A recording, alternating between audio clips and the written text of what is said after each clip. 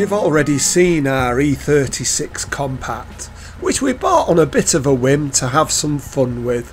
It's the 1.9 M44 engine, and although it's had a good service history over the last 10 years, it's done 7,000 miles since the last oil change, so it's due one. I intend to replace the oil filter, the air filter, and all of the oil.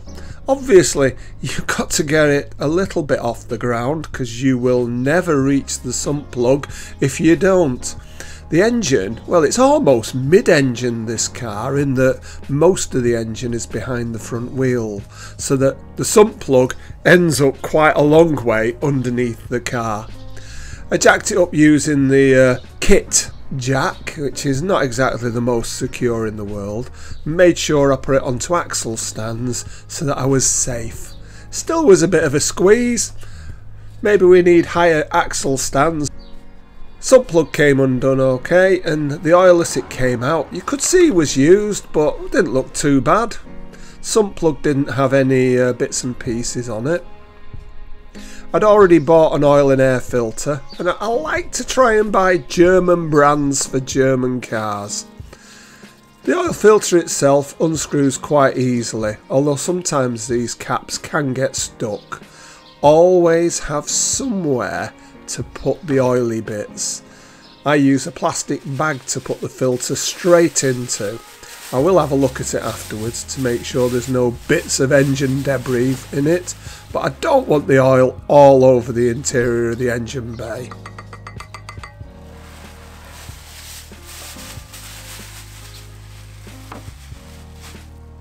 It's a little bit mucky in there, but nothing you wouldn't expect after 7,000 miles. So a good wipe out. Make sure your hands get nice and mucky and it would be really good to put the new filter in.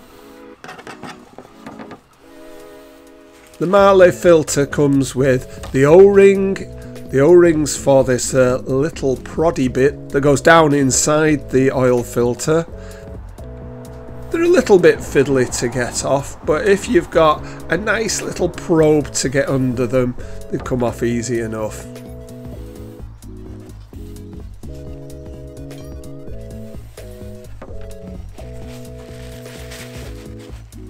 Same with the uh, the bigger one. You might have to run it down the threads a little bit, but comes off quickly.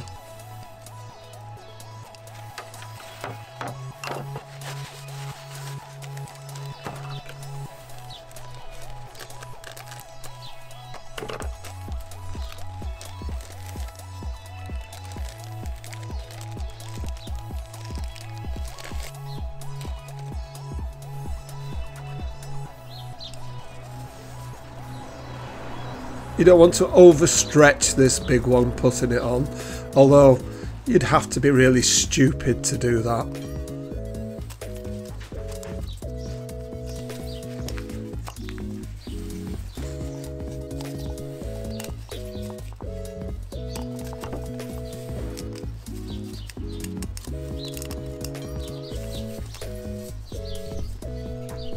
I always put a little bit of the old oil on just so that when you're screwing it on there's no resistance from the rubber.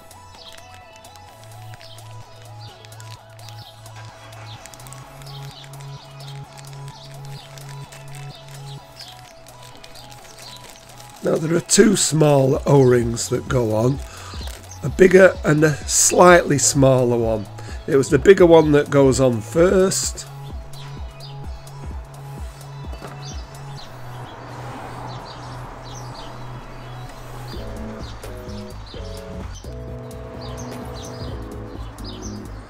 smaller one second.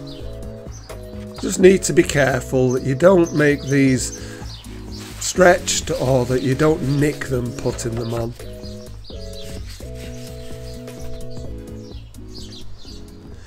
Now I have heard that sometimes you get these filters that can be slightly oversized and they crush down when you put them in but it's better to get a good quality one rather than a, a cheaper one.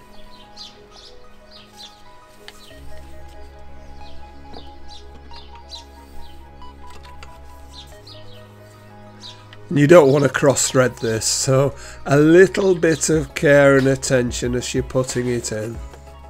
It does say that you should torque this down to 25 newton meters, which is around about 18 feet pounds.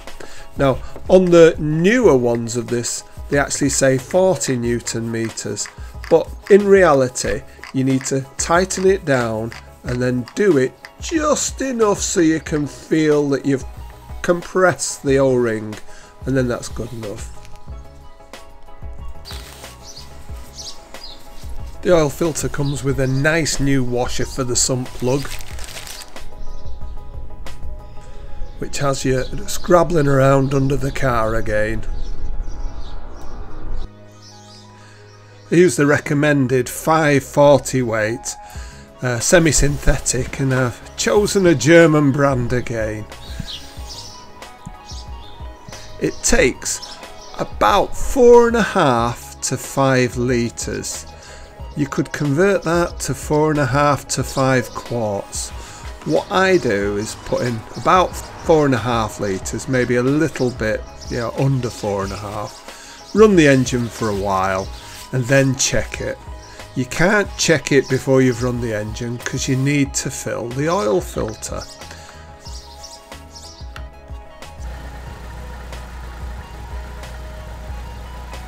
Obviously you check for leaks both around the oil filter and underneath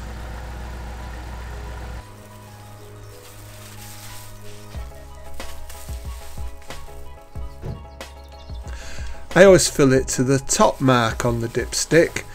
That way you know where you're starting from when you come to check it in the future.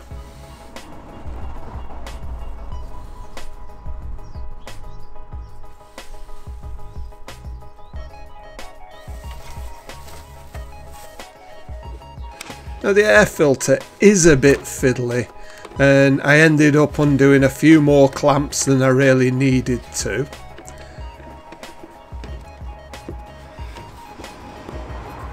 With a little bit of patience the top of the box does come off.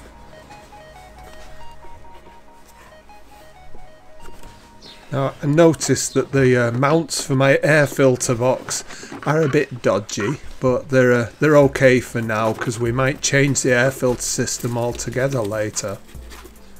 I cleaned out the box and put in a nice new filter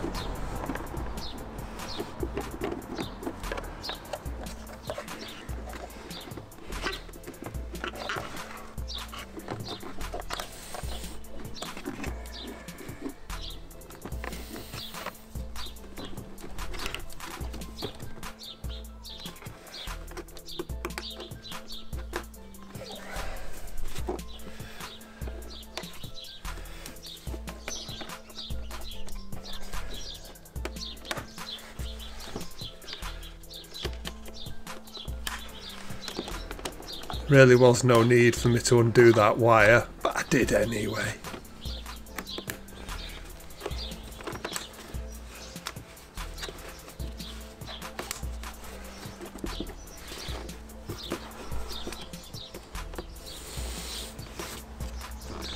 Having taken the trouble to change the filters and the oil, I need to reset the service light. Still got one green block showing, but what you need to do is take off the cap off the diagnostics plug and basically earth pin number 7 to earth turn the ignition on for 5 to 10 seconds then turn it off and that's it job's done so you can either earth it to pin number 19 which is an earth or with a wire all the way to uh, an earth on the body perhaps one of those uh, suspension nuts would be good